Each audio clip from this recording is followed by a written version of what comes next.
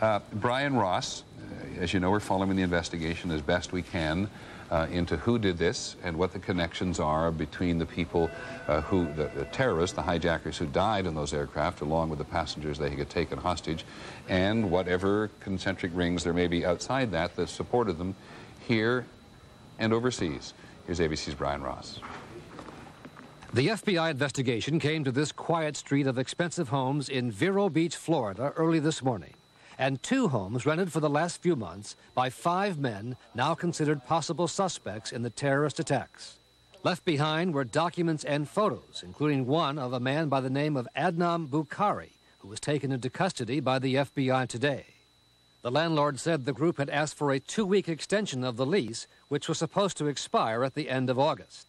Four of the men disappeared on Monday, and one of them, Ameer Kamfar, who lived in this house, is now being sought by the FBI, which has warned that if he is alive, he may be traveling with an AK 47 automatic weapon. Neighbors say when the FBI carried out its raid at 5 a.m. today, the entire block was evacuated.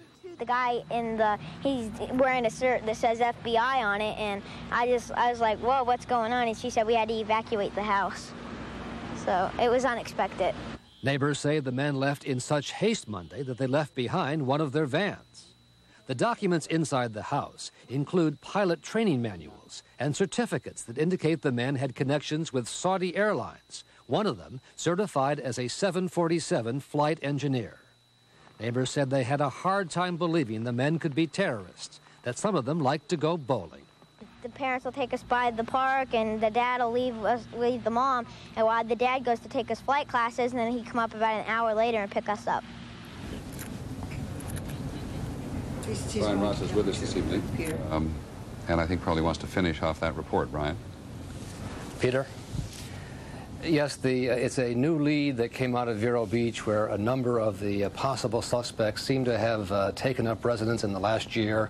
Uh, they were there uh, undetected for quite a while, uh, and many of them attended a, a, local flight training school to become qualified to fly the big jets, and it has created great interest on the part of the FBI.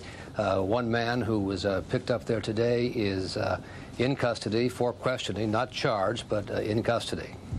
Okay, thanks very much, Brian Ross, who continues along with Jonathan Miller to, to be the principal reporters on the investigation, and we do our best to keep up with it.